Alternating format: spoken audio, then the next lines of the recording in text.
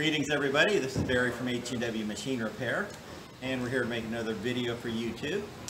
Today we're going to discuss putting lube lines into a yoke that is the original Zerk machine. As you can see there's a little hole here, it's actually grease in this one like normal. Um, these were made with a hole here and a hole that went down and you would line your table up and drip your oil down through. Well if you're installing a new lube system, you're obviously going to want to put some lube lines in it. So you have two options. Um, option one is you can use the insert and as you can see on this one here this has got an insert put in it. And in order to use the insert you would drill a hole. You can see this is 1764s so you would drill the hole 1764s I'm not going to do that. When we do one, we just drill to the size of the black plastic tube. Black plastic tube, it's 5 32nds of an inch. Okay, when you, you're going to put your half nut in there, put it down on a surface where you can get flat, take your scale. You can use a depth mic if you're really fancy. Go down and mark the point where it touches the bottom. Then you're going to come up, and as you see that spot right there, okay, right to the edge, you're going to make a mark. But what we're going to do is we're going to go an eighth, an extra eighth of an inch. And what that extra eighth of an inch will do is put you in the hole, the split between the two half nuts. And you mark it, and then you will tap and punch it. Be ready to drill. And then you will do the same thing for the other axis.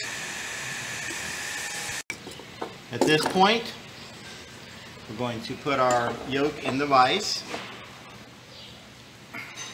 Again, I said this black tube is 5 32nds of an inch, so you, so you take a 5 32nd drill.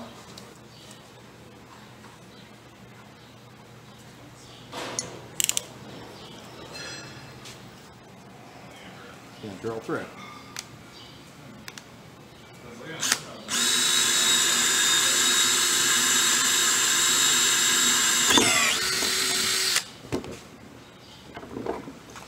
Same thing for the Y.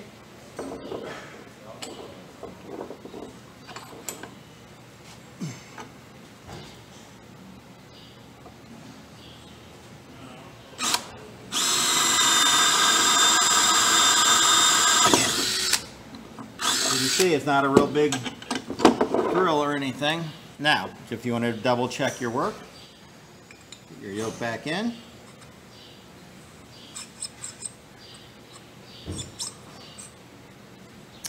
And your hole will be right past where your brass piece is.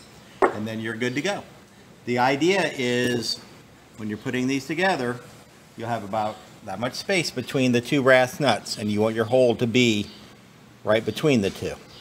That way the oil will get down inside of the to your screw on both spots. Okay, you have a second option on where to space your hole. You can just put the nut in and mark anywhere where the permanent nut is. Mark it, drill through the yoke and through the nut. Then you'll have to take the nut out and kind of clean up where you mark, where you drilled through. But that way you will have a permanent hole going right through the nut, right into the yoke. So that's just another option you have. So that's it. Um, I'll just real quick show you the line will fit right in. It, it, it, you know, if you have a good sharp drill, it'll go in, it'll stay in. There's no reason for pressing or anything. Um, occasionally a, a used lube line will be a little thicker, so it'll be actually a little tighter fit than even this is. This is a brand new piece. So as always, thank you for watching, and don't forget to subscribe to our YouTube channel. And everyone have a great day.